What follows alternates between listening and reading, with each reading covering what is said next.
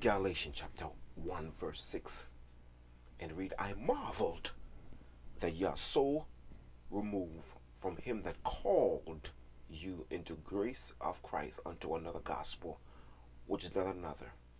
But there be some that trouble you and will pervert the gospel of Christ. But though we or any angel from heaven preach another gospel unto you that which is which we have preached unto you, let him be accursed. As we said before, so I say again, if any man preach any other gospel unto you than that ye have received, let him be accursed. My subject today is glory to God. Ten reasons why we are blind by cult among us. Ten reasons why we are blind by cult among us. Paul say, let them be accursed. Ten reasons why we are blind by cult among us. Father God, bless this message right now. Bless somebody that's in a cult. They're in a church, but they're in a cult, oh God. They're not in Christ, but in a cult. Bless them to see. Bless them to believe this message can pull them out. In Jesus' name I pray. Amen. Ten reasons why you are blind by the cult among us. Number one, we, we don't see how the scripture we don't see, we don't know the scripture, the Bible. When I say we don't know the scripture, the Bible, that's how you want to know this occult. Number two, we are too selfish and miss salvation. What? We are too selfish. We're too much into self. And we're going to miss salvation. Number three, we don't see the sign of a false church among us we don't have the Holy Spirit of discernment or know them by their fruit. Number four, we we we can't see seduction or deception in the midst. Yes, we don't say it. Number five, we salute, meaning we cheering mess, and we don't know it's messy. Number six, we don't know Satan ways and tricks we have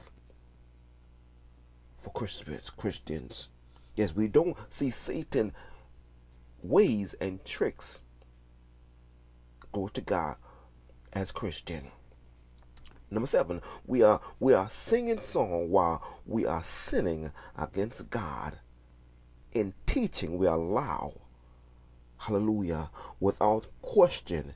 If you can't question your teacher, my friend, it's time for you to leave this church, which is a cult. What if you can if you can ask your pastor a question, it's time for you to leave this cult because it's a it's it hallelujah it is not a church but it's a cult. Number eight. What? Number eight, my friend, we are serving, hallelujah, a place that does not believe in hell and does not, hallelujah, hallelujah, glory to God. Let me say number eight slowly. We are serving a place that does not believe in hell. And number nine, it does not teach or preach on sin. It's too obvious. We are human. We can't be perfect. That's what they tell us. My friend, but the Bible says, my friend, Hey, listen to the Bible say, we don't practice sin, but the seed remain in us. We does not sin. Hallelujah. Glory to God. You know it's time for the tell the truth. You tell the truth. You know it's time for you not to have fornication. Don't have fornication. You can you can do it through the help of God.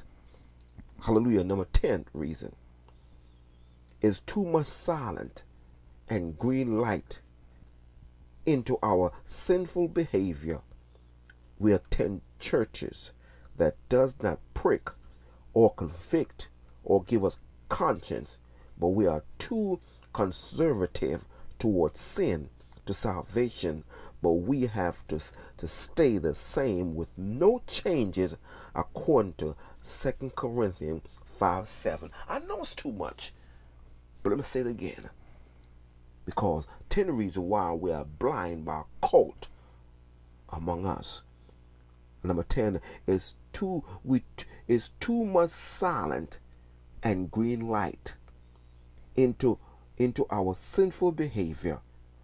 We are attending a cult, It's supposed to be a church that does not prick or convict or give us a conscience.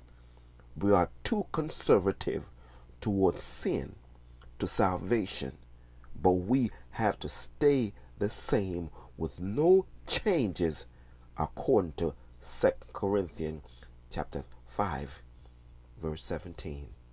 And the Bible says, Glory to if any man be in Christ, he's a new creature. Old things are passed away, all things become new. It's time. We, we can't be blind by the cult